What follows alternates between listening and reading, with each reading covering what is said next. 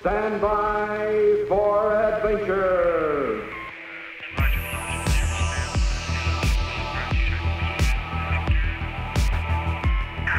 With conventional fuel rockets, it would take 15, 16,000 years to get to the nearest star.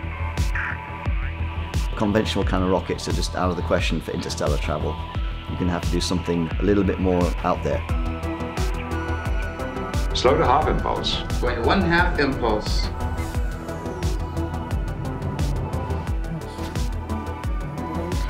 What we're trying to do is build an impulse engine like you hear on Star Trek. We'd like it to go at about uh, 0.4 the velocity of light, just so that we can get to the nearest stars within a human lifetime. There's no burnt up fuel, there's nothing being shot out of a tailpipe, and it's the gravitational field that actually will propel this thing forward. This is the Mach Effect Gravity Assist Drive, a device that could make interstellar space travel possible. But the Mega Drive, as it's known, is also a design that hinges on some pretty controversial physics. For many years, you work on a project that people think is nuts, and you're likely to be regarded as nuts too. Now, after 30 years of fine tuning, this pair of scientists might finally be close to getting the results they've been hoping for. And NASA are taking the idea seriously. If something like that were true, it'd be earth-shaking. Uh, it'd be it'd be groundbreaking, revolutionary new physics. But those sorts of advancements don't come along very often. That would be a pretty extraordinary claim to say that we've we've put this new spin on the way the universe works that we didn't know before.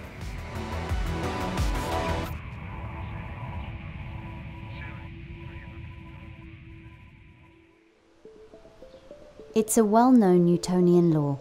An object at rest stays at rest, and an object in motion stays in motion at a constant speed unless an external force acts on it. All objects resist a push to some extent. And what makes them do that? Inertia. In the 19th century, Austrian physicist Ernst Mach made a conjecture that these forces of inertia result from the gravity of objects in the distant universe. It became known as Mach's principle, and while most experts have now dismissed it, scientists at this lab in California think the idea is just misunderstood. Mach's principle itself has sort of gone out of vogue, and people don't seriously even discuss Mach's principle anymore. It just depends on, on the way you think about it. If you look in a textbook, you might find five or six different definitions of Mach's principle. But the one I'm, I'm thinking of is that um, distant matter uh, way out there can influence things up close. To get your head around it, take this old analogy used to illustrate how matter bends space-time. If you put a heavy object on a trampoline, it falls in and curves the rubber sheet. Now, if you roll a ball on the trampoline, it will keep orbiting the heavy mass in the center. That's how a planet behaves when it's attracted by the gravity of a star. The thing is, for the rubber sheet to act that way, it has to be under tension, it has to be stretched. And we're saying that basically the distant matter of the universe is what's pulling the, the space-time and making it taut, and that's what's causing it to act like a basically like a rubber sheet. The stretched rubber sheet is loaded with potential energy, and according to the team's understanding of the Mach principle, so is space-time. So we're thinking that there's a big gravitational potential out there, and this device can actually tap into that. Imagine the space-time of the universe as being like a very, very flat lake, and you're sitting in a, in a, a rowboat, the kind that has the seat that moves backwards and forwards, but you don't have any oars. Instead, you have two great big buckets, like big trash cans. While you slide forward in the seat, the mass shifts around and the boat moves slightly. That's conservation of momentum, another Newtonian law. If there are no external forces acting on a system while it's moving, its center of mass has to stay in the same spot. And so the boat is moving to compensate for the different distribution of mass. And what you're going to do is you're going to dunk the buckets into the water, which is the universal space-time. And now you're a lot heavier than you were. Now you're going to slide back in the seat. And as you slide back, the boat is going to move under you so that your center of mass remains in the same spot. The boat actually moves forward as you slide back in the seat. Then you can dump out the water, you don't need it anymore, and then you repeat that process. The Mega Drive works in a similar way. The part which is doing all the work is a stack of piezoelectric crystals, the same kind of material that's in your electric toothbrush. When you apply a certain frequency of electric current, the crystals expand and contract, which causes the whole device to vibrate. But the Mega Drive is set up to vibrate mainly in one direction, which causes it to accelerate slightly. The team says this acceleration enables the device to tap into the gravitational potential of the universe. By borrowing some of its energy, the crystals change mass and the device starts behaving like our rowboat. That mass change is what's causing the propulsion because each crystal kind of moves in this sort of fashion. So the whole stack is in this breathing mode, which moves backwards and forwards. As it gains energy, it increases mass and then it, it shrinks again and loses mass. If you time it just right, uh, you can actually make that thing move forward.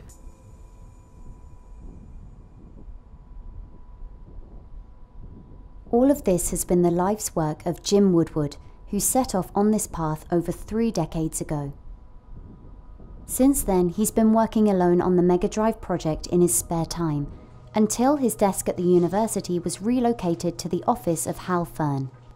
I was away on sabbatical, and I came back, and there he was. So there I was, and Hal was not happy. And at first, I thought it was absolutely insane. I thought, what on earth is this guy trying to do? I took a, a closer look at what he was doing. That's when I really became more interested. The shift is very small, though. The shift is not that small. I grew up on Star Trek, and uh, I would love to be uh, able to say that I worked on something that would help people get across space-time quickly. If, if the theory turns out to be correct, and we are really tapping into the gravitational field, it would be a serious breakthrough. It's just I've got to prove it. Hi, Shell, are you there? Yeah, I'm here. But proving this idea has been a problem. The movements of the device have been extremely small, not large enough to register with the naked eye. But after receiving two grants from the NASA Institute for Advanced Concepts, or NIAC for short, the team has managed to greatly improve their existing prototype. Jim was basically paying all this out of his own money. He must have put thirty to fifty thousand dollars into this project. He didn't want to buy off the shelf kind of equipment because uh, some of it wasn't available when he started doing this 30 odd years ago. You couldn't buy some of the equipment, you just had to make it and build the circuits yourself. We did have some people come over at one point and they saw Jim's uh, homemade boxes. They didn't really take him that seriously. I had to convince Jim to buy some equipment to, you know, off the shelf that we could get fully calibrated.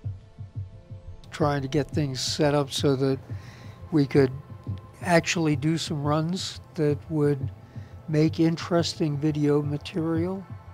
Many new collaborators have joined along the way, and the team has designed a new setup for the device, hanging it from a pendulum to increase thrust and eliminate any vibrations which might be mistaken for it. Okay, here we go. Three, two, one. And they finally started seeing it move with their own eyes you can physically see this thing shudder around vibrating and you can physically see it move off to one side. So that's actually quite exciting. If we can actually show that by video, then I think that should convince uh, quite a few people. It's on a reflector on the frame, okay? I still think we should give Jim that, that, that ear horn that looks like a, a wormhole. No. So I think it looks cool. yeah. The devices we build now produce those type of forces between 100 and 1,000 times larger than the forces that we were producing even a year or two ago. It's, it's very, very small. If, if you think of maybe a little pulley with a with a little mass on the end of a, a string, the force that that would produce if you drop, say, two or three grams of weight down, you'd almost barely feel it in your hand. It's almost like the, the weight of a feather. Maybe a little bit more than a feather, maybe two feathers. I'll be generous, I'll give you a couple of feathers.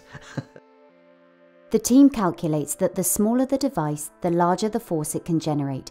So instead of scaling up, they hope that arrays of thousands of tiny megadrives powered by a nuclear battery could one day be deployed to accelerate large probes into interstellar space.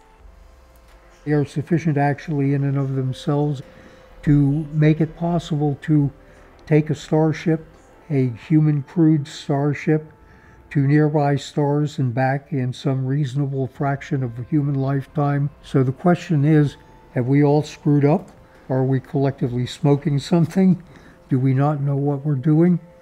I suppose you might argue that that's the case, but the way to find out is to find out whether or not the gizmos that we make are really doing what we say they are doing.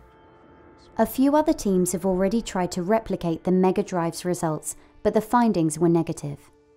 People don't expect this thing to work. It, it, sounds so bizarre. There are several things that could happen that could cause these false positives, and that's what people think is going to happen. If they're saying this this strange effect is actually real, then um, and then somebody somebody else comes along and, and proves it wrong, then they, they look like they have egg on their face basically. So it's much harder to say that something is, is a real effect when it's when it's controversial.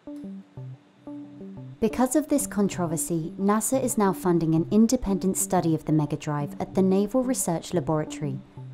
The neat thing about the claim here is they say there's some revolutionary new physics that lets you vary your inertial mass, which means you can actually be heavier and lighter at different times. And if you can wiggle at the same time as you're changing your mass, uh, now you've maybe got a way to move yourself around and do some sort of wiggly, wiggly, wiggly thing uh, all through space. Now, is that possible in this universe? Maybe, maybe not. Mike McDonald is part of a team testing the device, but even he admits that conclusively proving or disproving this theory won't be easy. Is a test going to be conclusive? Let me answer that question with a question. What if I ask you to prove to me that there are no pink elephants? Now you might say, every elephant I've ever seen is gray, but how do I know you just haven't looked hard enough? The answer is that you can't really prove a negative. Tests give us enough information to decide if the way we think the world works is valid enough for us to keep going in that direction. And that's what this sort of test can tell us. If you ask me to put on my, you know, my betting hat and say, are we, are we really going to see exactly the effect that is claimed and is it going to be so strong that we think, ah yes, it's definitely the mechanism that's claimed too?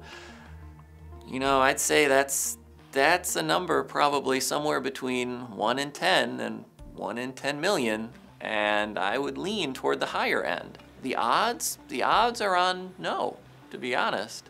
But the odds are on no for every new idea that comes up. And remember that science isn't a tool that gets dirtied by use. You know, the scientific method comes out of any encounter looking as shiny as where it started.